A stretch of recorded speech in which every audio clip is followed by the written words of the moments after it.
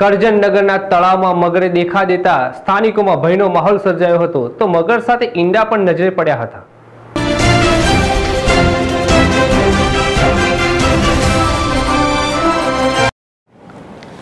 ઉનાળાનું આગમન થતાં જ જળચર પ્રાણીઓ સંવર્ધન ક્રિયા પૂર્ણ કરી પોતાના ઈંડાઓ માટે, તો પક્ષીઓ પોતાના મારાઓ માટે તૈયારીઓમાં લાગી જાય છે.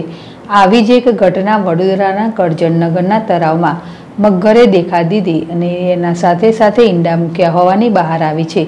પ્રાપ્ત માહિતી અનુસાર કરજણનગરમાં પ્રવેશદ્વારથી પ્રવેશ દ્વારથી થોડે આગળ નગરમાં જતા પુરાણું તળાવ આવેલું છે, જે તળાવમાં એક માદા મગરે ઈંડા મૂક્યા હોવાની માહિતી મળતા મીડિયા કર્મીએ તળાવની મુલાકાત લેતા તળાવના કિનારે ઘાસની વચ્ચે માદા મગર જોવા મળી હતી, તેમજ કિનારાના ભાગે ઈંડા પણ જોવા મળ્યા હતા. ત્યાં રહેતા એક સ્થાનિકના જણાવ્યા મુજબ ઘણા સમયથી તળાવમાં મગર રહે છે. અને અમે વારંવાર મગરને જોયેલું છે. તો નગરના પૂર્વ વિસ્તાર તરફ આવેલા તળાવમાં માદા મગર ઈંડા સાથે જોવા મળતા સ્થાનિકોમાં ભયનો માહોલ સર્જાયો છે. વન ખાતા દ્વારા મગરને પકડી સલામત જગ્યાએ છોડાય એવી લોક માંગ ઉઠવા પામી છે. યાકુબ પટેલ જેડેશ્રી કરજણ.